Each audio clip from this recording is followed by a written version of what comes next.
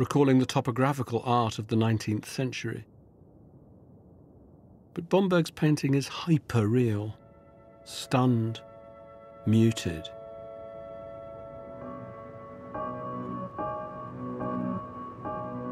In 1925, two years after arriving in Palestine, Bomberg began work on the subject which had brought him to the region the Zionist pioneer camps. Men toil over what appears more like a gaping wound than a landscape, attempting, perhaps, to cut out a cancer. And in the Quarrymen, Palestine development, there's little evidence of transformation. A machine sits defunct in the rubble strewn landscape. A pair of figures, walking wounded, watch over what appears to be the excavation of graves. These pictures suggest Bomberg's troubled attitude towards the pioneers' efforts. Hardly the images of a new utopia hoped for by the Zionists.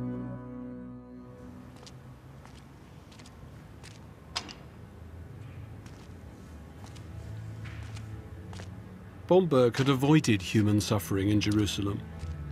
But as news spread of a great atrocity, he was drawn to those who'd endured it, fellow survivors.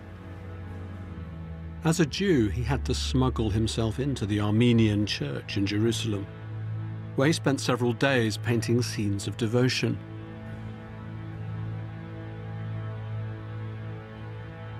By 1925, the Armenian population in the city had reached almost 15,000.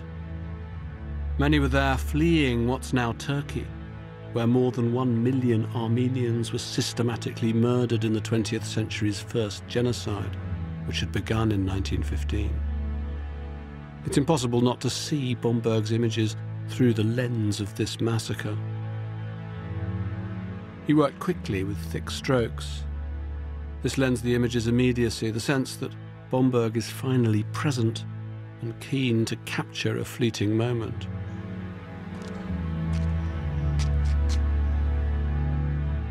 Figures are painted with the same vitality as their surroundings. In washing of the feet, they fill the frame, pulsing with life. It's a small picture, but one that's pregnant with meaning. You can feel the artist's sense of respect, even reverence, for these people still clinging to their rituals in this, their darkest hour.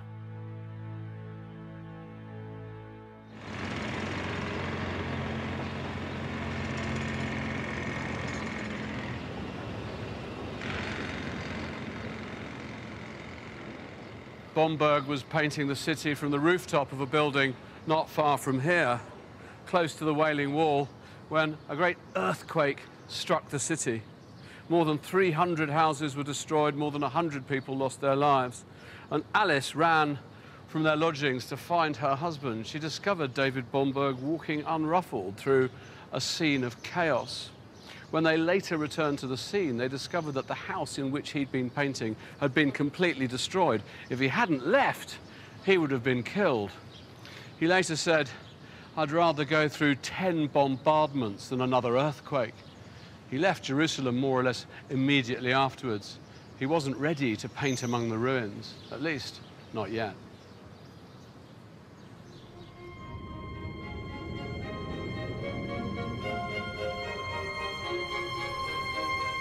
Foggy, drab, and grey. After the raking light of Jerusalem, London looked foul to his eyes. Palestine had taken its toll on his marriage. His relationship with Alice had deteriorated to the point where it was now over. And the general feeling about his new work? So many styles. How is one to know the real Bomberg? The artist's Palestine pictures perplexed the art world but they've found their devotees today.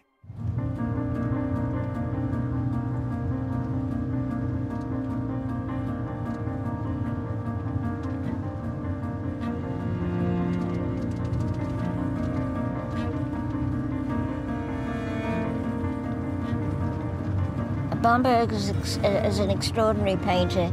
He's unique in that his painting can be described as poetry as distinct from prose. Poetry lies in a fine line between abstract and figurative.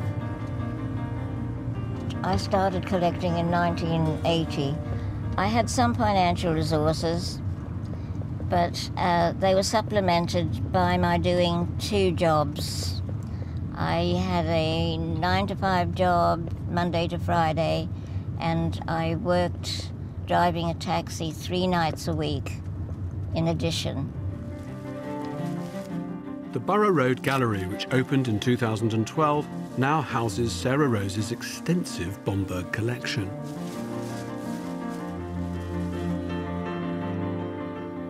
I find them exciting to look at, but also very calming. My breathing can go down to four shallow breaths a minute which relates it to some forms of meditation which give this degree of rest. So with Bomberg, I get the best of both worlds.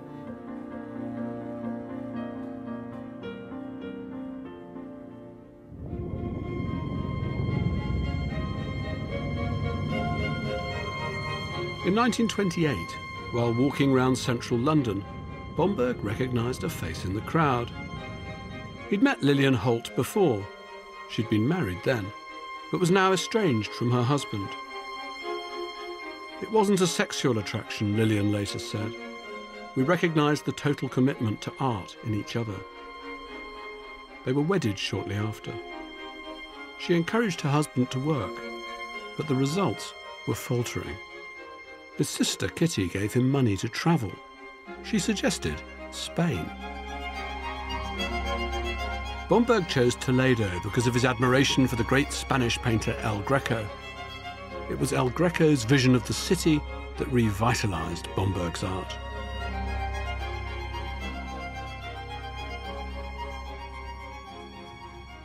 This is Bomberg's view of Toledo from the Alcazar, and how radically different it is from the Palestine pictures that preceded it. The handling is much rougher, raw, more immediate there's a weird combination of the intricate and the abstracted. This is almost like a piece of sublime knitting. The city is represented as a chaotic intermeshing of paint strokes, which simultaneously is completely convincing as an image of a huddle of buildings.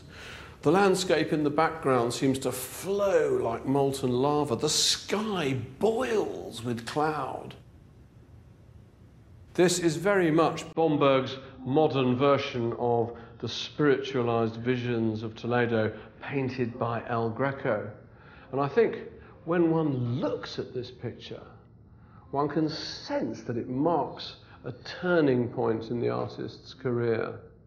It's as if the shell shock, the sense of trauma left on his mind by World War I, has finally lifted. The ringing in his ears has finally stopped. He can now again hear the world, see the world, feel the world again. This painting inaugurates a whole new phase in his art.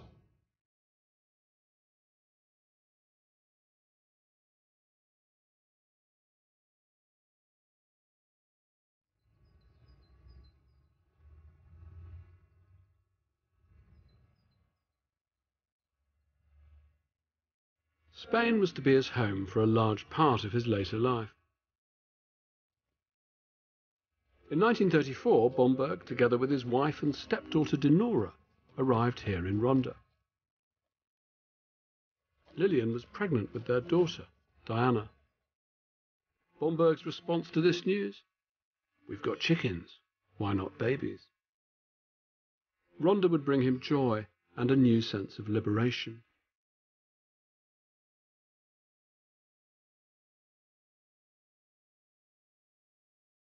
In periods when the artist can be inspired and given freedom to express this inspiration, Bomberg wrote, we get great art. The town would inspire him to create some of his most luminous work. The complex interplay of Ronda's rooftops, light skimming across jewel-like facets. An ordinary street scene transfigured with rich hues and a plunging perspective. But there was one view that drew Bomberg back over and over the epic panorama of Ronda itself.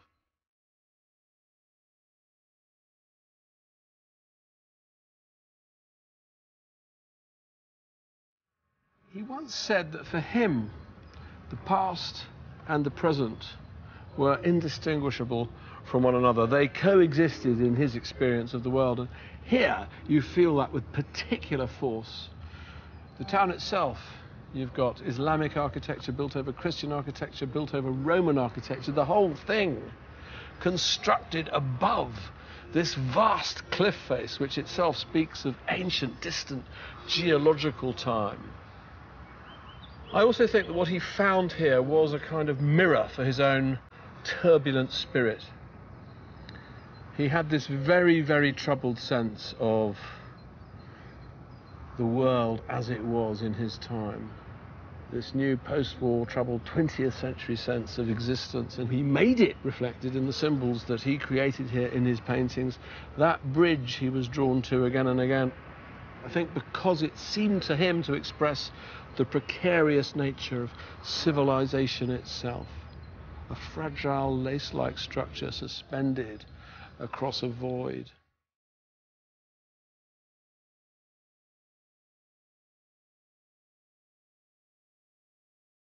Within a few years, the vertiginous character of this place would be put to murderous use. Men would be flung to their deaths from Ronda Bridge during the Spanish Civil War.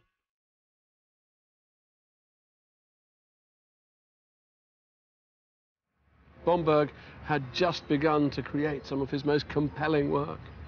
But now Spain was tearing itself apart and he was forced to leave. There was nothing for it but to return to London.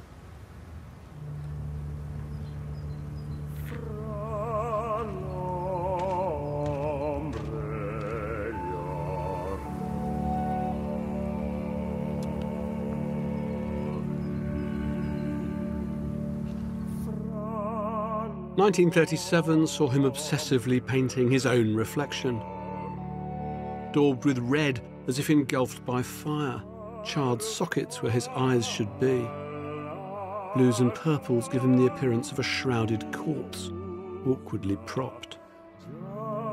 The double headed self portrait is a startling image of a dissolving mind. He is Janus faced, head smeared across the canvas in two places at once. He stopped painting altogether shortly afterwards. Two years passed, and the turmoil in Europe escalated into another full blown world war. During the Blitz, London was a city under siege.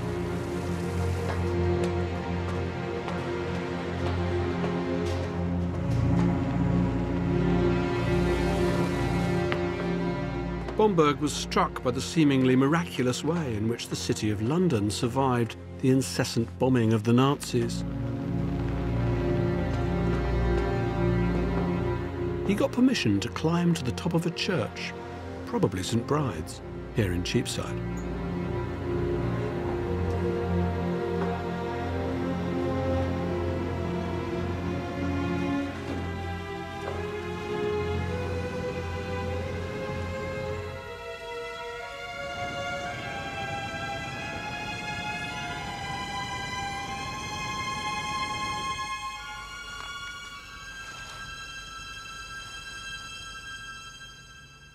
There you have it, St. Paul's rising out of the bombed rubble of London.